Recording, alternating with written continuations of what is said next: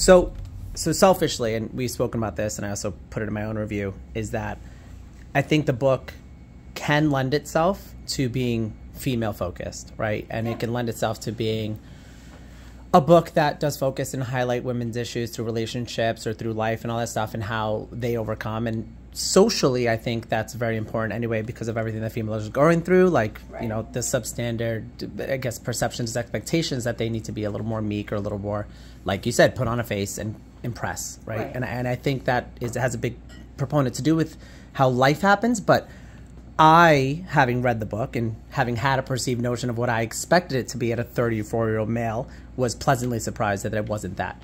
And the one thing that I, I would take from that is that the interviewees, while being strong female figures, if you take out their names and if you take out the pronouns, does allow the gap to be bridged between a female and a male having the same like issues in life right. or even just any sort of perception or or, or, or stuckness, right? And right. so you brought up a point that you and I had not spoken about was that you did have a 50% male audience read this yes. to make sure that there was no negative feedback or no bashing. But no male bashing. Did you take into consideration not just the fact that men would take this negatively, but also that they'd be able to relate to it? And what was their reaction when reading the book, and how did you change anything in the book to meet their concerns? Yeah, I mean, originally the title was Swiping Right After 50, so it was going to be more about dating, and so it was going to be female to female advice about dating, and then it just kept getting deeper and deeper and deeper. And, um, you know, I had um, one person say, um, why do you have 50 on here? This could help people much younger, and this is not an age related group of information. and um, and then that's what made me start thinking about the male. And Lindsay, the one who I told the story about a minute ago, uh, he was the first male I had read it because he's just a dear, dear friend, and he's extremely sensitive male. And I said, I need, I need any. I, you're my radar. I don't, I don't, I, I you know,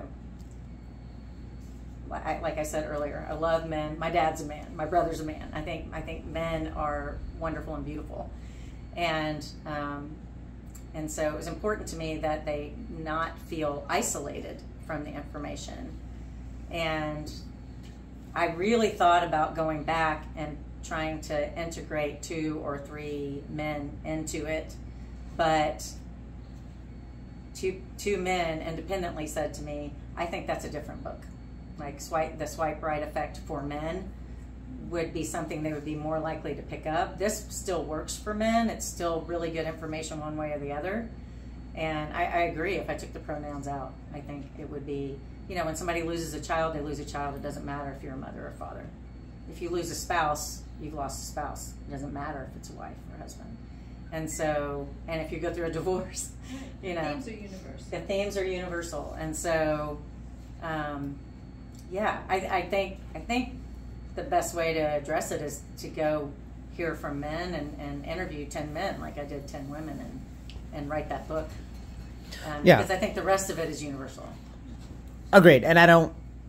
I don't think that you know, but me, I was just saying from my personal experience. If if the pronouns weren't there and the names weren't there, then you're right. It is a universal topic. And my follow up question would have been for people that are here, because a lot of this can be word of mouth and it can be people promoting it from being here and knowing you and doing book signings and all this stuff. How would they go ahead and then disclose that to other people to convince them to get the book when they already possibly have a preconceived notion? And I think you already addressed that, which is the themes are relatable and they are transferable, and it doesn't matter what your gender is, what your situation is, or what your name is that you can go through that. So I think having that messaging is really important for everybody. Yeah, and if you go look on Amazon and you look at my reviews, um, almost half of them, like I would say 40, 45% of them are male.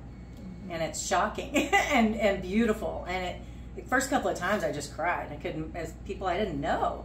I mean, it's one thing when my, the guy I've been dating does one, you know, like I, you know, that's, I, I appreciate it. But when a stranger, a male, gets on and, and says, This book helped me, this book changed my perception of things.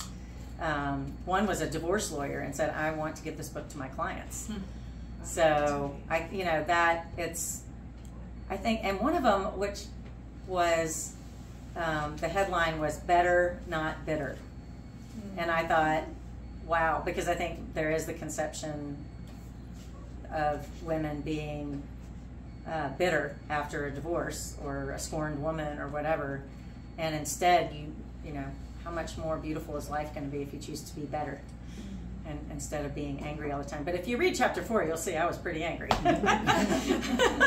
but um, but yeah, I do I do think the messages are universal, and I hope I hope men will read it. But I, I do think a great follow is to let men tell their story. So, Thank you. thank you.